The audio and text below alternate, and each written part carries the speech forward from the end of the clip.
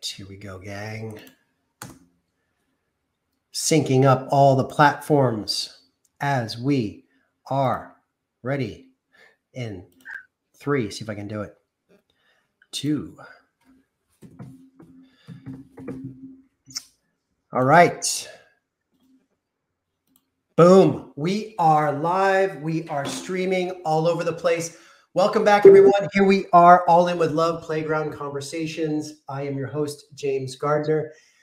This is my give back. This is my little sandbox where I bring some amazing people on each and every week. We break down qualities of the inner child as it relates to their respective journeys in life, their acts of service and being of contribution to, to make the world a better playground, truthfully.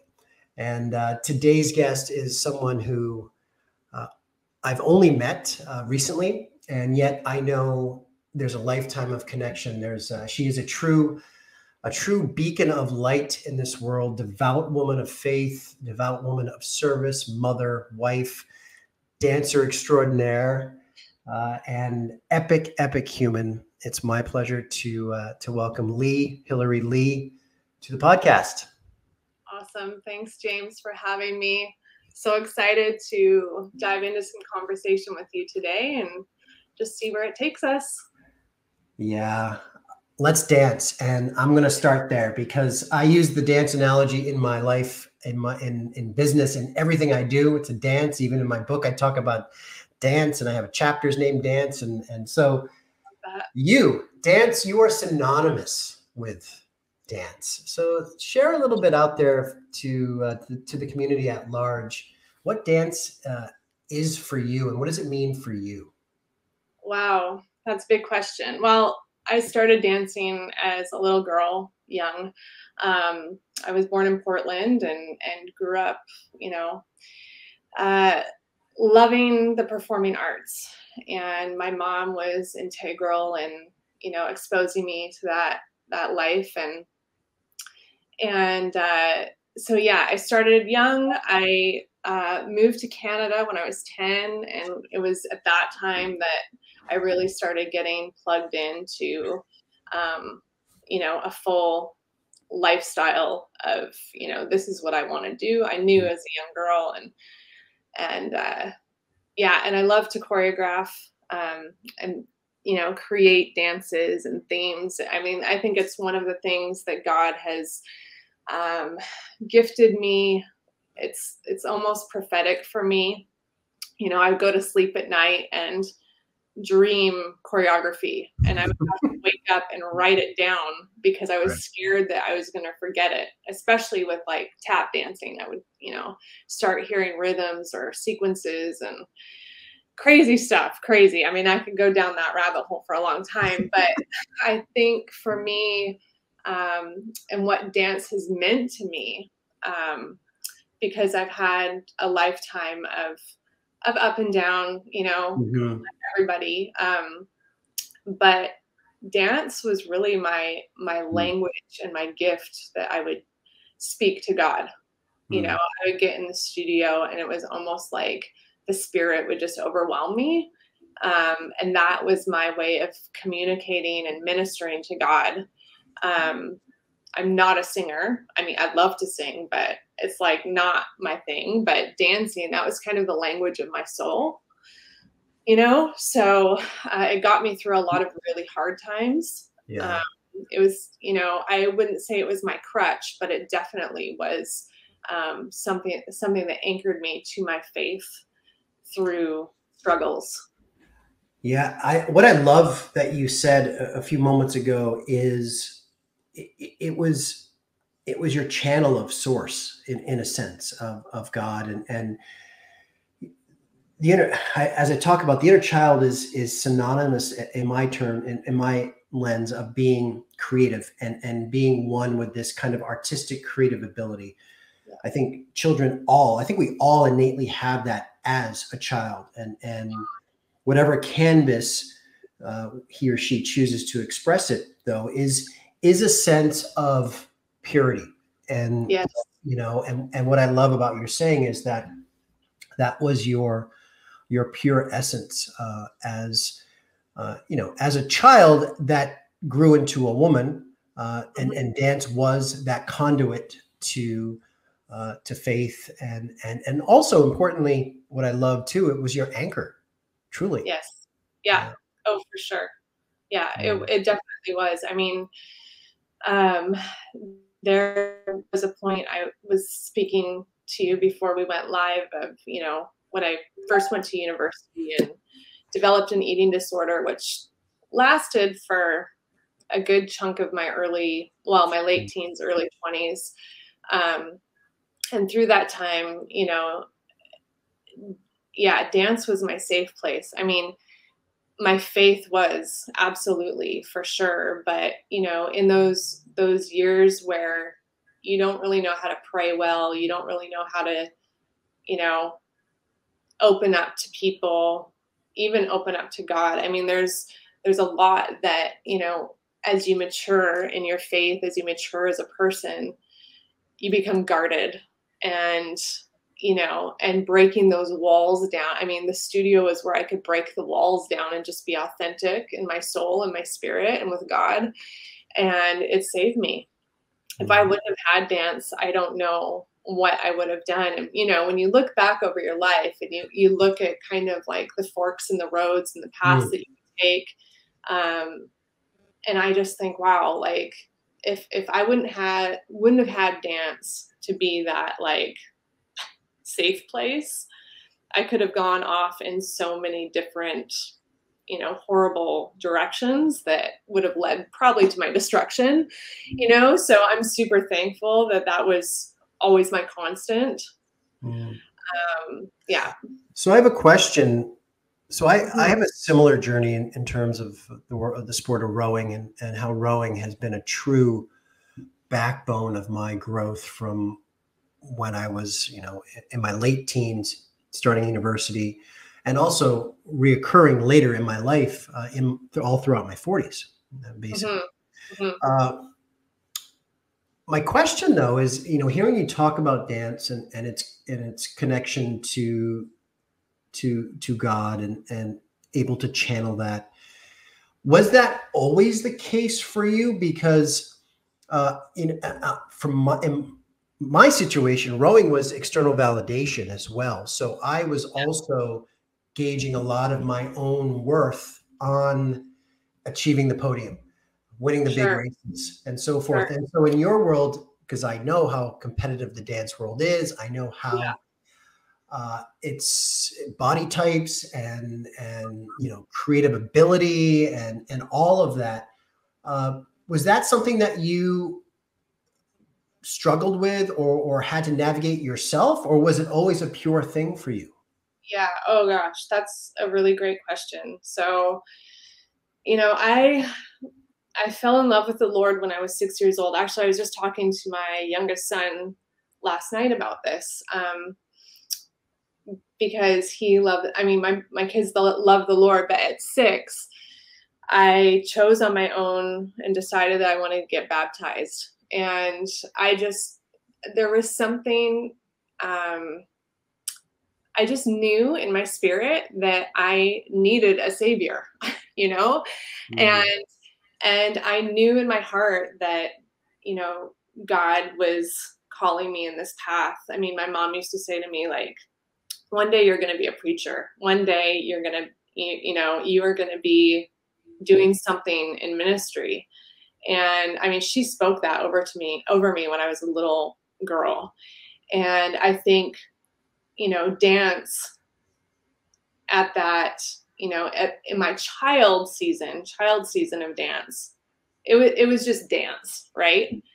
I think as I started to experience heartache, you know, in my adolescence, um, it became more of that secret language of my soul, like my prayer mm. time, my my faith journey. Um, it was really influential of that.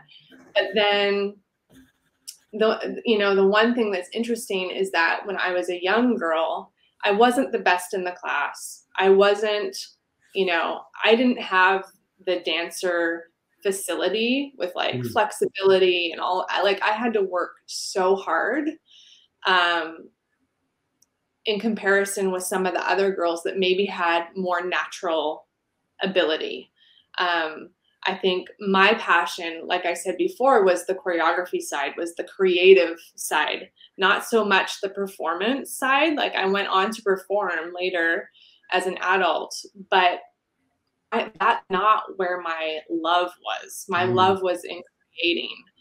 Um, so, you know, later in my teens, as I started to like come into my own and and like rise in my ability, um, you know, there definitely was a competitive side in me, but it definitely wasn't the end all. I don't know if it overshadowed my, you know, my faith in in dancing. You know, I don't even know how to put that yeah. into. Um, but I definitely saw as I started to, you know, own a business, like own a dance studio and choreograph, and I saw that that was where I was thrive like achieving accolades, you know, was in my choreography. I mean, definitely there was a fire in me that like every year I wanted to like top what I did the year before. Right. Right. You know what I mean? Um, even though like I still like still in the studio, it was my like my time to be with God. And, you know, my mom said to me one time, she said, you know, your mission field is the dance studio. Like if you want to be a role model and go share your faith, go do it in the dance studio because mm. that's going to reach reach people and change lives. And I really took that to heart and wanted to be the best role model I could for the kids that I taught. And then, you know, I, I developed Crucible Dance Ministry kind of later, um, you know, in my third, like later 30s. Um, and that was a total move from move of God, like in my life. I I felt being called out of you know the the secular dance world and more into like a ministry of dance where um, I could really implement my faith and teach dance and see where doors would open in that. And you know that's what led us to the mission field. Mm. just that simple act of obedience right? And just yeah. listening. Okay god where do you want me in this? And honestly i didn't want to be in the dance world anymore. That was a God thing for sure. I was wanting out of the dance world, and he's like, "Nope, you're staying in it, and this is what you're gonna do." And I, I listened. There was tears, but I listened, and I said, "Okay." And I just saw him move in that mm-hmm. in my life. So it's definitely been a roller coaster, but he's he's been there through it all. Yeah, I think uh, you know it's it's really interesting to to follow you on as you're talking about dance and, and that journey. And and you know i think for people out there too that don't know i mean you you did dance professionally. You you had a stint with the vancouver grizzlies the nba team when it was up here in vancouver as a dancer. And and so you've you've achieved a certain level of dance and and um but i love leigh that you I, I feel it the anchor was your faith and you know one of which i think also prevented you to a degree from going down the slippery slope that maybe i went in terms of you know mm. completely associating my my self-worth on achievement on yeah. you know the the podium the, uh, the you know and all of that and and i and i've seen that in my life uh, in, in other areas, and, and as you know, in, in, in the acting and, and, entertainment world, same thing. Uh, yeah. And and totally. Was my, that your time in New York? What's that? When you were was that when you were in New York? Do you feel like that that was your um, yeah. your slippery slope arena? Yeah, I, I think so. I, you know, I, well, no, not I think so. Yes, definitely. I when I when I moved to New York at 23, almost 24, living in Manhattan for 12 years and then LA for two years and and being in that industry, uh, yeah. you know, you're subjected to a lot of a lot of things and a mm-hmm. lot of mm-hmm. situations, and you know, um, maybe maybe in my case more situations than others and just in terms of the way the chips fell with meeting certain people and and so forth so um you know i i started that's where i really started to lose sense of who i was or who who little jimmy was mm. with the dream you know? Yeah. It's it's identity. It's all identity mm. right where we find our like you said your worth but like if you don't know your I- true identity and that is as a kid like who are you as a kid as a child? Mm-hmm. and where do we lose that? Right. You know where at what point in your life does that start to kind of scurry away? Right. I think and i think that's why the inner child work is so prevalent um, in this day and age too. Not even just from a, a, trauma lens or a healing lens but also just getting back to that purity that we were talking about earlier in this podcast and, and getting back to that essence of us truly. Uh, when we lived for us like we were walking in our truth because we we didn't know better and we weren't we weren't programmed uh, through by others through through you know expectations and judgments yeah. and as I was saying self worth and and all of that and uh, you know Absolutely. for some people in your case you know it, it's God and faith has has always been that anchor. Mm-hmm. And, uh, yes, uh, and and for someone like me, you know, later in my life, I started to go down a spiritual path, uh, and and getting back to um, that essence, that that you know source essence, whatever whatever we want to call it for for each of us. Yeah. Uh, and and to me, that is getting back to the purity of my younger self. Yeah. yeah. Yeah. And that's beautiful. I mean, everybody's spiritual journey, faith journey is different. And I think one thing that's lacking right now is just respect of that you know, that everybody has their own way. Mm, right? True. And right. and there's no timeline on someone's journey. You know what I mean? Like and we're all climbing the mountain at different speeds. Some people are running up the mountain, some people are trudging up the mountain. And every day is a battle. But it's like, where has our compassion and humility and grace gone in society you know let's, 100% so let's talk about that yeah where, where has it gone well you know what i believe is that you know we're fighting a spiritual battle. I mean we're it's not flesh against flesh. I, it's it's the spiritual realm that is really battling for souls. And um, you know, when we look at cancel culture or the di- divide in politics in the p- political realm, um, you know, when you look at what's happening geopolitically overseas and, um, you know, even the whole debacle over, you know, COVID 19 and the, and the, you know what's right? It's like everything has a spiritual element to it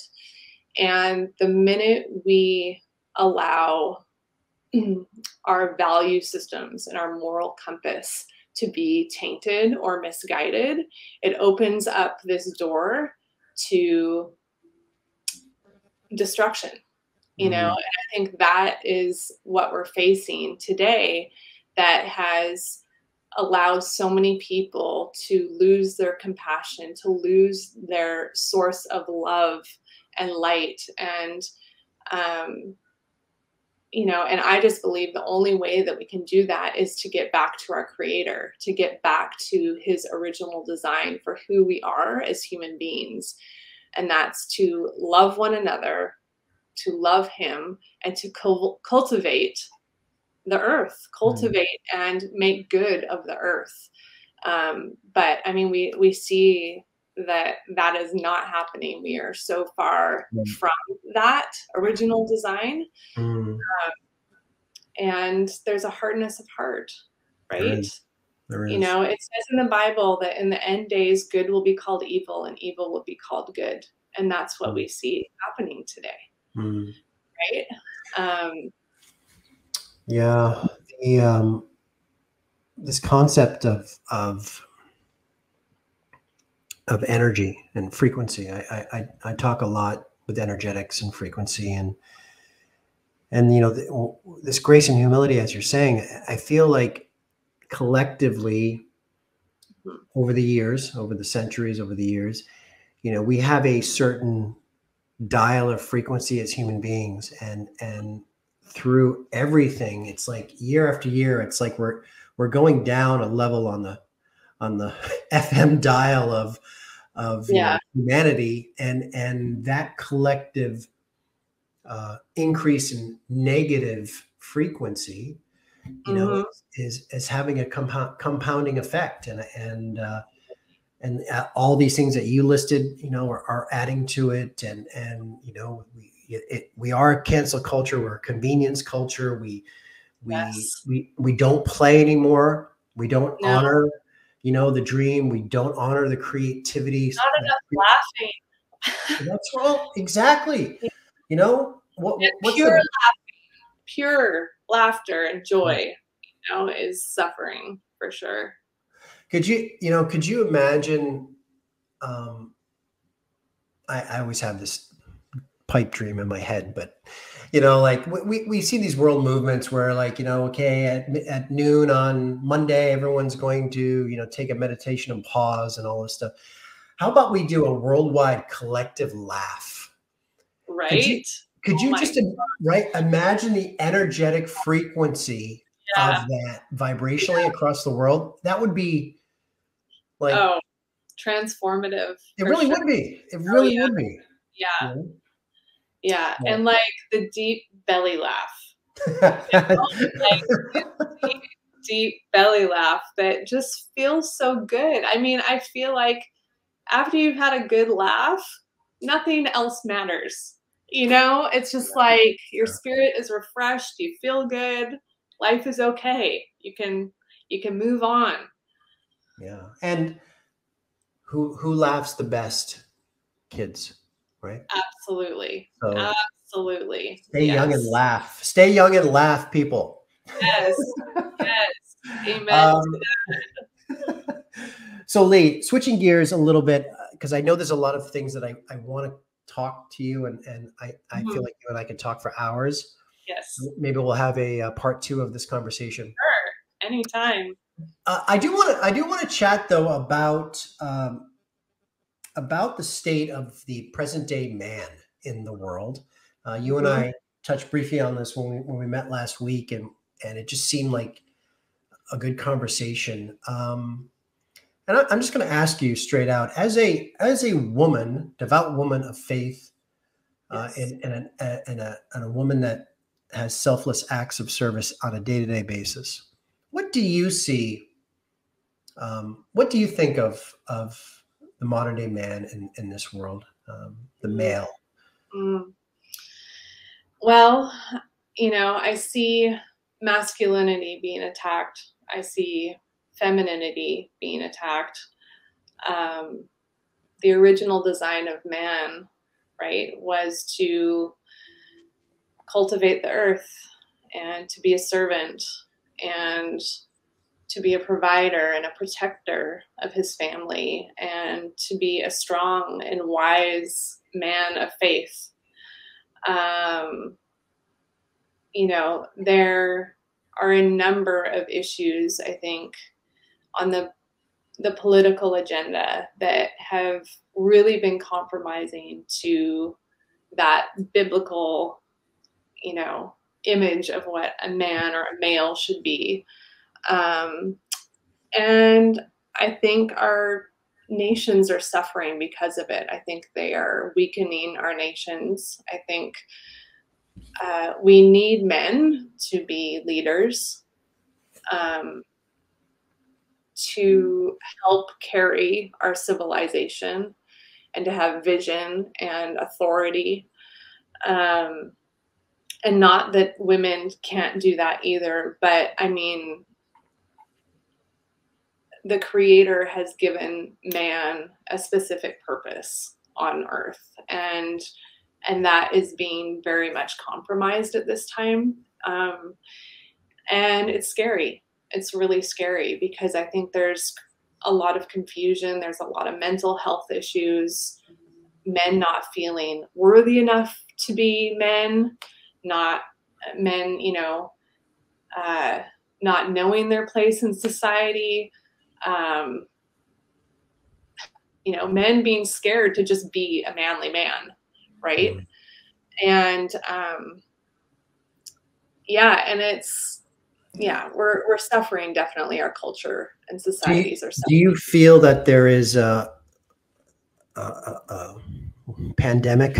Use that term. Pandemic of toxic masculinity uh, in this day and age.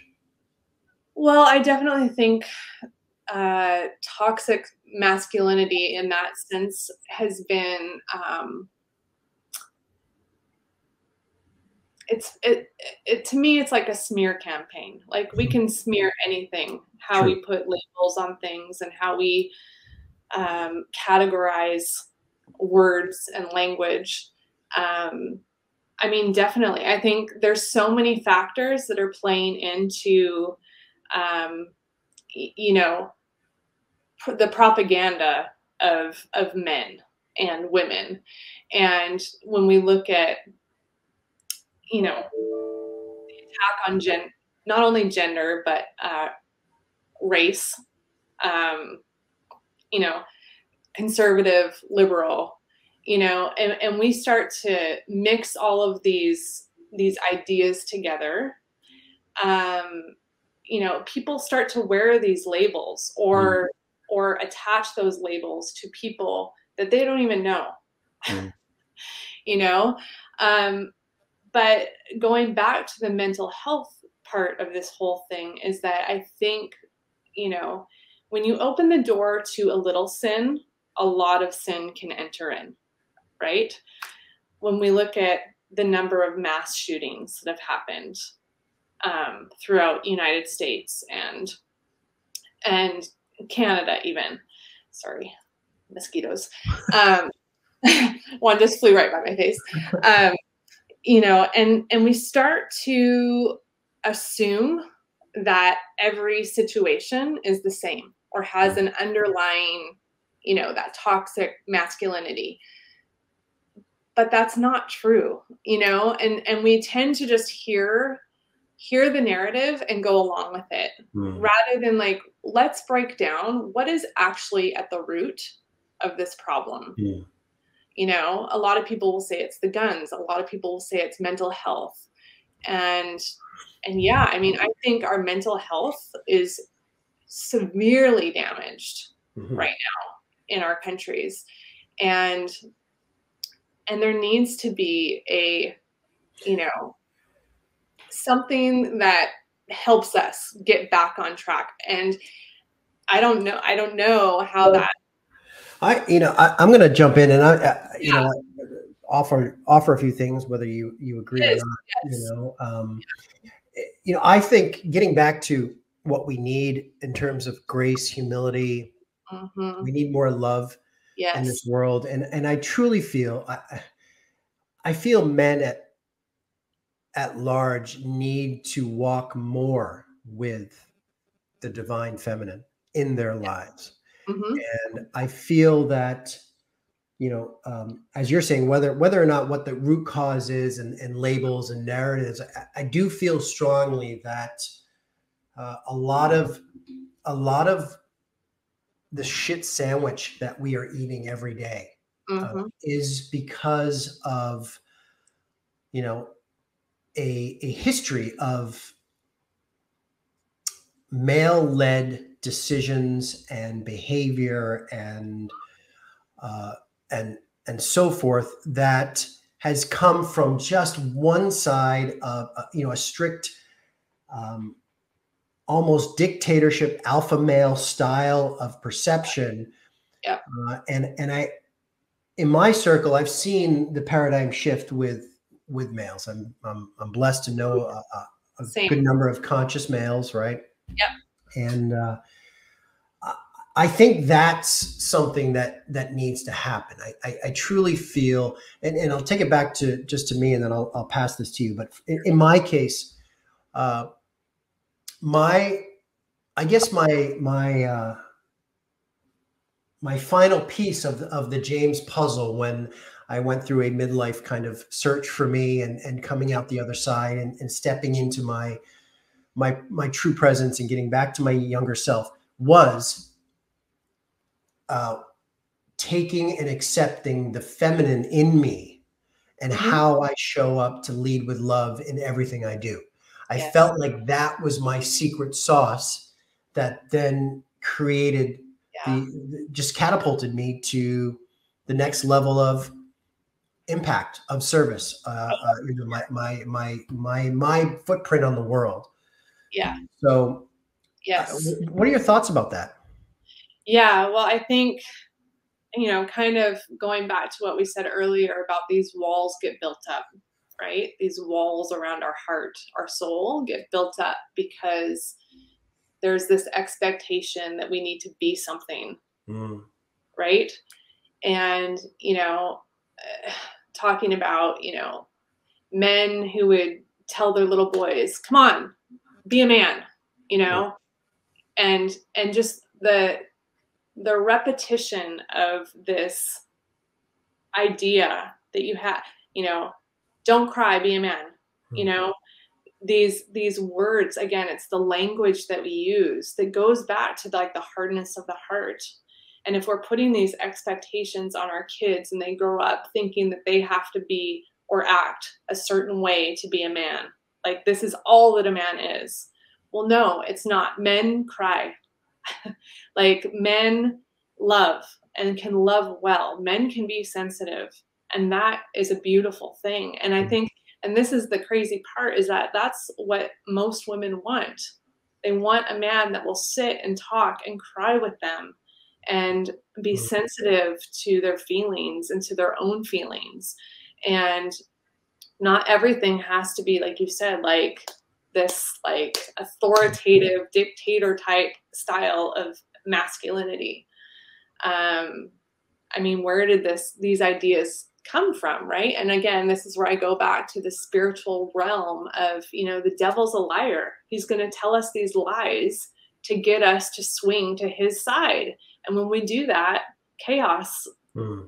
proceeds right. right and so i think that's kind of where we're at with masculinity and femininity. Like they're both have an identity crisis. That's great. You know, like who is the woman and who is the man and what are we walking? I mean, we can't even call, we can't even call men men and women women anymore. Mothers, mothers, fathers, fathers. Right. Like, this yeah. is how crazy it's becoming. Well, and, you know, and and and there's there's people out there and I actually kind of like this approach. I haven't really dove in to give it a lot of thought Mm-hmm. However, you know, why does it have to be male and female? I mean, we are just, you know, we are just a human being, right? And and why why do we why does it even have to be that? You know. Mm-hmm. Yeah. Um, and, and, that label, because we are, as you said, like we, we we attach labels on everything. Yes. Right. And and yeah. now, my God, I feel like like you said, I don't even know what to call people half the time. Yeah. It's scary. You know? it, it, out of yeah, and and then everyone in my opinion, again, everyone is, has become super sensitive yes. uh, and and takes everything, you know, right to the heart, which again is truthfully is not being an inner child, is not being connected with our younger selves because we're we're we, are we are taking things personally left, right, and center. Yeah. Uh, and and so it's it's just a. I know you have kids. I have mm-hmm. kids. It, it's it's a volatile world out there to to bring to raise kids and obviously you know w- with you and your faith uh, that's provided you uh, a, a, a safe haven in in the storm that's that's out there you know so um yeah i you know heavy stuff heavy stuff and and it's hard and i mean you know there's always going to be you know people that disagree with your stance or have mm. different ideas, but that's okay. And I think we've lost the art of discussion and debate in our society. And like you said, the the idea that we can laugh at things. There's mm-hmm. so much sen- like sensitivity. Like people are so sensitive and yeah. take offense. And it's like, no, we we need to be able to talk about these things and not cancel each other out because we disagree about one or two or three things. Mm. Like there's more that binds us together than divides us. And we Love have to be able to see that as, you know, human beings. So that i mean that's my thoughts. It's like I, I just i mean i'm starting to really sense that in our world right now is just like i don't like what you say you're done. You're done. Moving on i mean that's I've, I've been a victim of that. Like i i I mean, I would never do that. Like I, I love people, and I mean that is my biggest prayer that in these days that my heart remains soft, yeah, and not hardened by you know acts of unkindness right? How do we how do we stay above that and and stay loving people? beautiful. So. uh, what i'd like to do um, leigh is is let's uh, let's shift our own narrative for a moment let's let's shift our own discussion topics let's get back to the playground here and in the last five minutes let's lighten up and and and chat a little inner child stuff and Mm-hmm. And uh, I'd like to ask you a couple of questions, um, and and just uh, love to hear your responses. Okay, so yeah. uh, in in my book, in in my journey, uh, little Jimmy has shown me that uh, the way that uh, that I operate in the world is by four four key compass points, if you will. Okay. and and they are truth, freedom, artistry, and intimacy. Uh, and those are those are my decision makers. Those are how I navigate life on a day to day basis, from from micro to macro um, situations yeah. and experiences. So, mm-hmm. what what does truth mean to Leigh? Let's. Let, I'm going to ask you truth. What does truth mean to you? Well, I believe in absolute truth. I believe there is an absolute truth, and um, you know, my truth is the Bible. I mean, all my foundations come from the Bible, mm-hmm. um, and and I know that that doesn't resonate with with some people, and that's fine. But that that is my truth. I mean, I I don't resonate with having my own truth. I resonate with the truth. Okay. and and that's you know what has given me the the foundation for my life. That has that's what's brought me through to where I am today and continues to every day. Um, I don't think truth is subjective. I, I, believe that there is absolute truth. And I think this is where, um, you know, when we look at a moral compass, you can't have a moral compass unless you have a creator that has told you what good and evil is. You know what I mean? Because if we don't have those foundational breakdowns of good and bad, then it's to our own discretion. Mm. And that's where it gets a little, that's where it can get a really mm. like rocky foundation. Because then what your truth is, is your truth, and somebody else's truth is somebody else's truth. And you can't ever have a common medium, right? But if we look at the foundational truths of what good and evil is, then that there there's no breaking that. There's no going beyond the limits of what that looks like. So for me, mm-hmm. that's true. Love it. Love it. My my closing question to you, Leigh, would be, or is, uh, in in my journey in the book, I talk about uh, there's a doorway for all of us that uh, inevitably, at some point, we walk through. the The child within walks through to adulthood, and some days or sometimes that's happens earlier in life than yeah. later. Yeah. If you could go back to that moment for you uh, and uh, channel little Leigh, what would what advice would you give Mm. the the Leigh that is about to take a journey into this adult world? Wow. Oh, slow and steady. mm. um, you know, for a lot of my life, uh, it was very fast, very busy, very go, go, go. And I can see how that wore on me and, and, uh, drained me a lot of, from a lot of my capacity. Um, and caused many sleepless nights, you know. And I think this is where my life has changed a lot in, in the last decade, just primarily from my spiritual practices of, you know, slowing down, having quiet time every day, resting on the Sabbath, you know, really like totally giving that day to God. Um, and having simplicity, just mm. living a simpler life.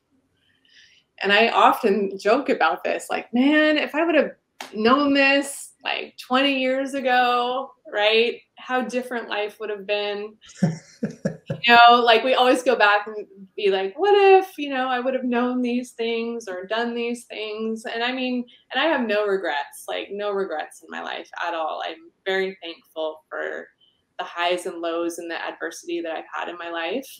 Um, but I'm very, very grateful today that I'm on this slow and steady path of, you know, just living one day at a time, living for that adventure, for, you know, the next door that God's going to, you know, open for me and my family. But it is a very, very much a discipline of being slow and steady. Mm. Love that. It's a beautiful thing. And, and, I love that you are willing to to see what adventure unfolds each and every day. Uh, that yes. is a that is a beautiful beautiful gift that uh, our younger selves did so well back oh, in the day. Yes. And uh, yeah, I want to uh, I want to thank you, Leigh, for yes. taking time out of your day to uh, to share some conversations and some some insights into uh, into your world, into uh, you know, into this conversation of today, uh, specifically of, of getting back, uh, increasing our, our units of grace, humility, and love in the world, and uh, and walking walking hand in hand with the younger selves. So I appreciate you. You are an amazing, amazing human. Thank you. Thank who, you.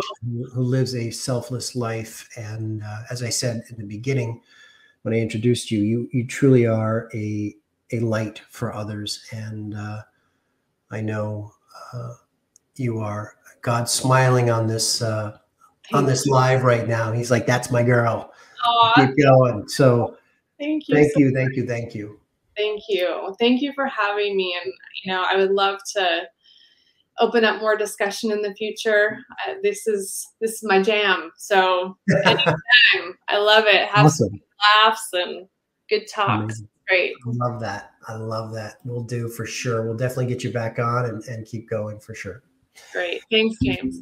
Thank you. And thank you, everyone, uh, for tuning in. Uh, we have some really great comments on the comment board. Sorry, uh, Barbara Shepard, we were in, engaged in a, a, deep conversation, but uh, between myself and Leigh, we will definitely get on there and, and respond to some of the questions and some of uh, your comments. Thank you. Thank you.